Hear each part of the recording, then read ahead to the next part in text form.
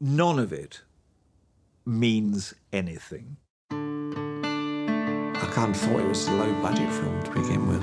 It was just like another job, except you looked weird. I got dressed in the costume. They put bits on. I thought, cool, this looks good. There wasn't a lot of certainty as to what it would be. I had an invite to go for lunch with Alec Guinness, and we used to go and sort of practice the fight together, like kids fighting in the back garden. And I was like, holy shit, look at this, what's going on? How many actors can say that they've got their own action figure? I said, how, George, how do you want me to play this? He said, well, play it like they do in the movies. Took the afternoon off, up to Pinewood Studios, and knock on the door. Then within a week, I got a call to be in Star Wars.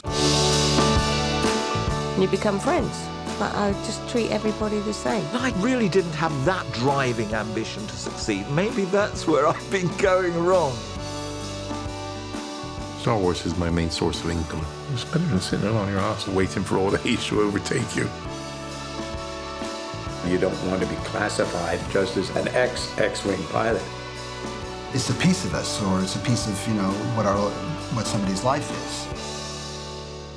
And I was in with the helmet on and walking around and then finally stopping with George Lucas. He said, welcome aboard. It's not a big role, but I think you'll have some fun.